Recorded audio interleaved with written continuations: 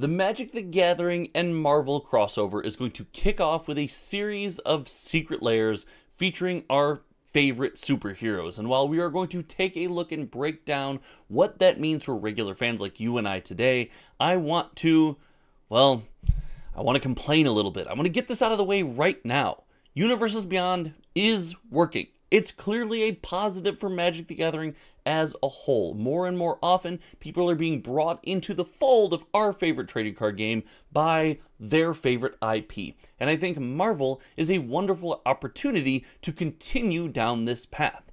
Furthermore, Universes Beyond offers collectability that you don't really get with Magic the Gathering. Now, admittedly, I'm riding high off taking my daughter to Collect-A-Con and her loving the Lorcana and Pokemon cards and things like that, but that collectability is not something you see with new Magic the Gathering. People aren't racing to PCG to slab these cards and add them to any kind of massive collection or do complete sets or anything like that. Universes Beyond, however, creaks the door open to modern Magic collecting, where you collect all your favorite characters from Fallout, Doctor Who, and yes, soon to be Marvel. But it is not all good. These Secret Lairs are going to be a taste of something to kind of affect our community and players like this for a long time, and I'm not a fan of how it was introduced. So I warned you this video was going to be a rant, and the intro is already ranty. As you know, I don't script any of my videos here. I just sit down, gather my thoughts, and talk about the card game that I love and a community I've been around for the better part of 20 years. If you're interested in content like this and you like what you see and you enjoy the channel, make sure you hit that sub button because for a small channel like mine, a click of that and the like button do more than you can possibly imagine. If you want to support further, there's a channel membership program that costs 5 bucks a month. It helps support cardboardfinance.com and helps support me on this journey. So any one of those buttons down there is always super helpful for me. Thanks to anyone who clicked the buttons. But Magic and Marvel is a crossover that is let's just call it highly anticipated. I believe this has an opportunity to surpass Lord of the Rings as the best selling Magic the Gathering set of all time, and I believe that this is a massive, wide open front door to bring other people interested in IPs, fantasy, hobbies, superheroes, comics into the Magic the Gathering fold. And with this being kicked off with Secret Lair, it brought a lot of thoughts to my mind. First and foremost, I hate that we're kicking it off with Secret Lair. Look, Secret Lair is something that Magic the Gathering fans, Magic nerds like you and I know about. We know to look for it. We're ready for it. But the biggest win of Universes Beyond is the fact that anyone can stumble into their game store. They can go into the Walmart, the Target, or the, the Kmart. Rest in peace, Kmart. I don't even know if you exist anymore, but I digress. You can go to any of these stores, any of your local game stores, hobby shops, and see, like, oh, I love Lord of the Rings. I've never been a Magic fan, but I'm kind of interested. I love Fallout. I love Doctor Who. I see that on my shelf. That's really interesting. Oh, my buddy told me Fallout or Doctor Who is coming to Magic. I gotta check that out.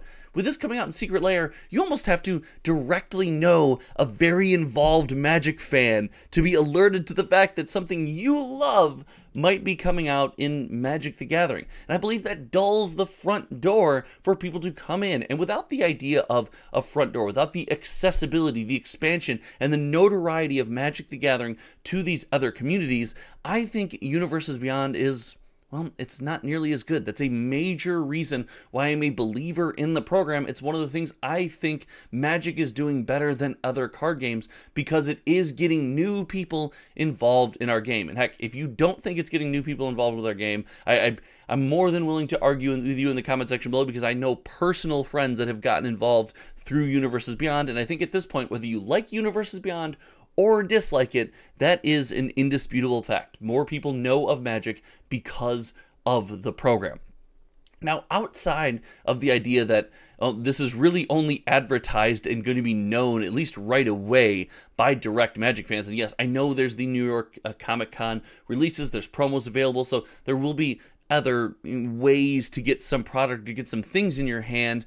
I find myself fighting against the thing that I hate the most about Secret Lair when it comes to Magic and Marvel. Now, I am also a believer in the Secret Lair program. I liked special artist renditions of cards, cool things that you can add collectability to modern magic without decreasing availability, right? These cards that you're buying, the the 14th Sol Ring or Sol Ring or Arcane Signet or whatever it is on Secret Lair with the various art is not needed for you to play Magic the Gathering with your friends. You can get an Arcane Signet or a Sol Ring for 10 cents from your local game store. Sit down and play. That is not an accessibility block. It is an you, you want a cooler version block, which does not stop you from playing the game. But functionally unique cards in Secret Lairs, it irritates me. It bothers me.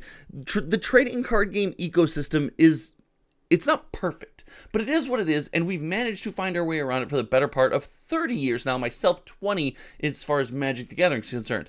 And if you have functionally unique cards saying, hey, you want to play this way, you want this effect, you want this power level, well, then you have to buy this Secret Lair.